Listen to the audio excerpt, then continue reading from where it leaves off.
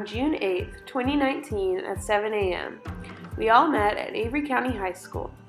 After a short meeting, we got into Dan the van for a long journey to an unknown destination.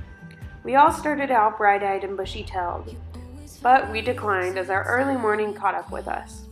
We did wake up, though, for a stop at the beef jerky outlet. Our destination was revealed as we pulled onto the Kelleys Island ferry. After our short but windy ride, we arrived at Kelleys Island State Park Campground, where we set up and prepared for our next day's adventure.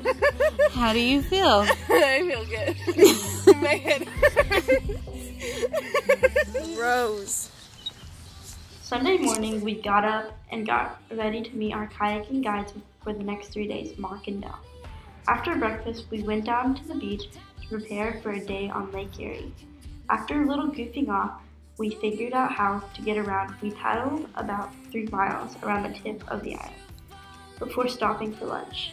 We got a little tired on the way back to camp, so we wrapped it up and Rose volunteered to be our cell. Before moving on, some people had to take an emergency break. Monday was spent learning how to turn, move, and get out of the kayaks underwater, followed by kayak jousting and floating around. Tuesday was the earliest morning out of, of our lives with a 4.30 wake-up call. It was worth it to see the sunrise over Lake Erie. So it's an opportunity just to get away and, and be outside and learn more about yourself. Uh, it's one of the most relaxing things you can do. So it doesn't really matter if it's the Great Lakes or a, or a river that's close to you. Just getting away and taking a breath.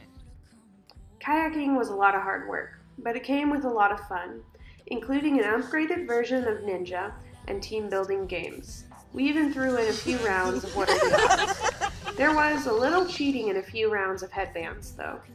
We finished our time on Lake Erie with a sunset hike on the North Shore. Um, so I started kayaking about 20 uh, years ago. Um, and uh, to me, I did a lot of backpacking, and there was just something about being able to carry gear in a boat. It's just a different experience, especially to get places I couldn't get on foot, and also to enjoy the journey in a different way. And I still love backpacking because that's, that's that's its own sort of experience. But um, not having the weight on your shoulders and um, being able to sort of take things in in a different way while you're traveling is something I really, really have a passion for. And I love how the water changes. Um, you guys saw that a little bit on this trip where mm-hmm. Lake Erie could be calm, it uh, you know, it could be big, it could be wavy, and I love um, kind of finding those rhythms in nature and sort of uh, learning how to use that power of that water uh, to for my own enjoyment, right? To get out to, to kind of be a part of it. Our first day in Detroit, we arrived a bit late, so all we had time to do was a tour around the city. Our tour guide rode in our van with us and gave us directions to special locations around the city.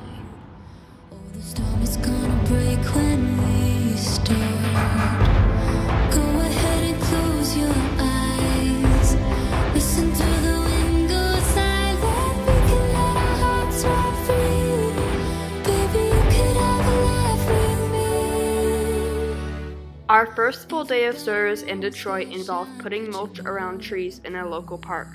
This is where Angeli discovered her love of After that, we talked about the environment with the park ranger named Todd. Our next place of service was the Heidelberg Street, which is known for its very unique art.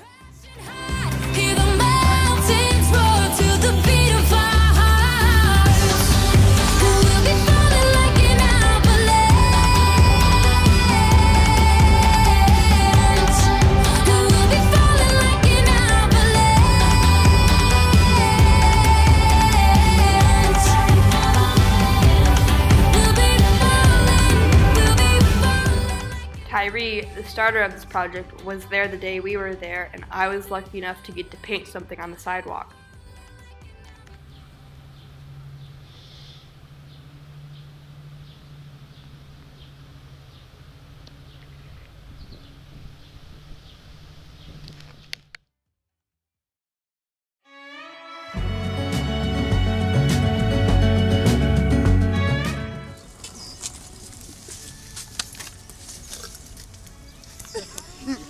All. Our third day of service was focused on community gardens.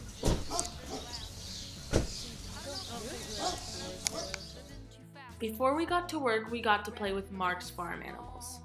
No, I gotta go. There's no starting over, no new beginnings. Time raises on. Just gotta keep on After we had some fun with his farm animals, we got to work weeding the overgrown areas around his orchard.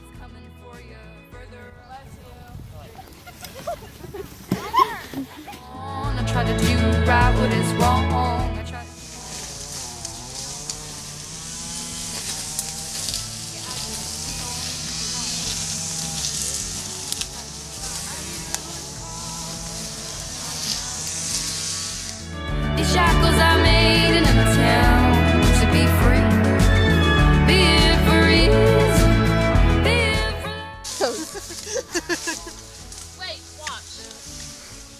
Why?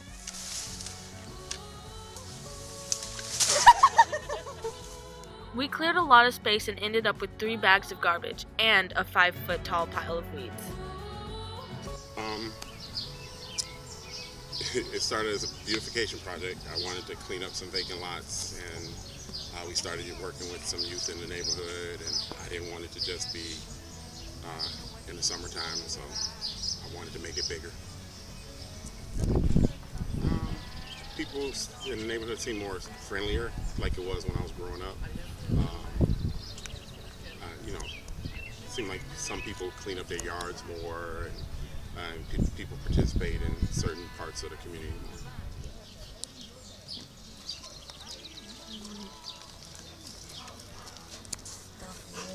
more.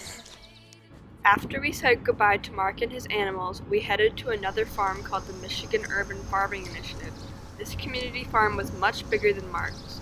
There we had to do more tedious weed pulling work.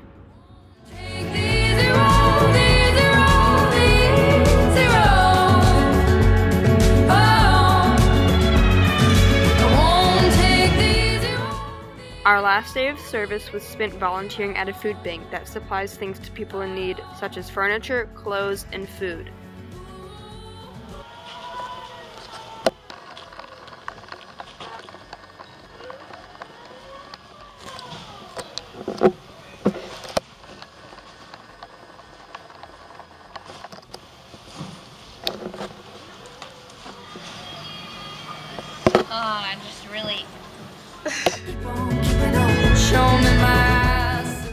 The rest of the day was spent relaxing on the beach and eating out for the first time in a while.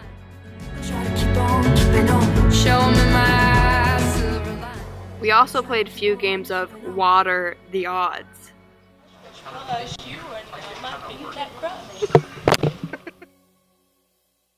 Saturday, we went into the city and saw many beautiful murals.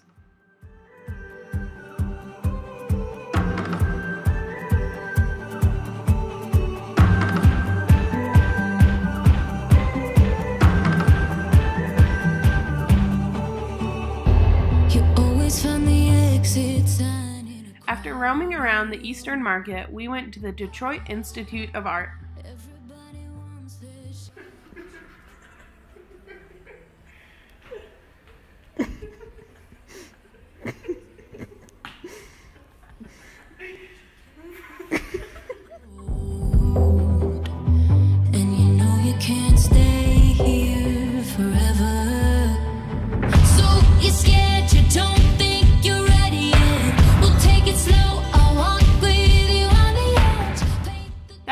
Last night in Detroit, but we were getting a little exhausted, so things started going downhill.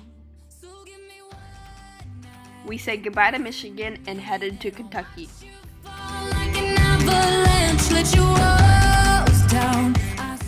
Most of us took naps to prepare for our upcoming bluegrass concert featuring lead dancer Angelique.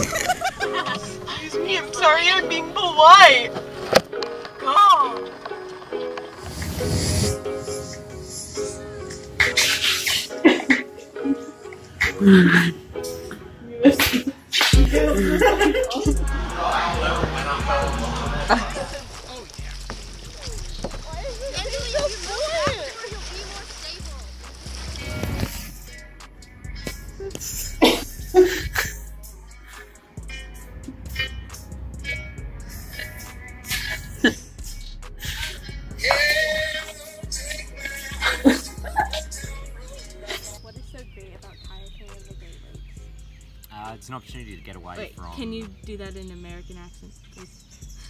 Well, okay. What I think is that kayaking in the Great Lakes is a wonderful opportunity to spend time with Mark. And that's really why I got into this. In fact, actually, I never kayaked before this weekend. Um, so I'm really enjoying it, and I hope to learn more. Welcome to Kentucky.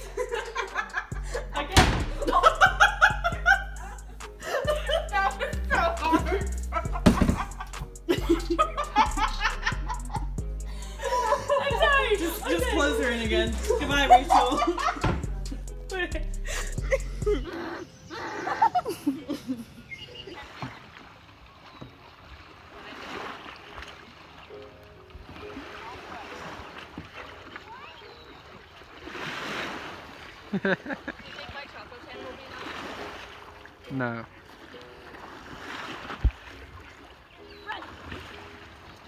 Hey!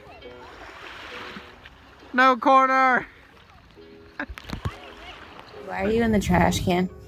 Because it's my home. this, is my, this is my um Detroit apartment.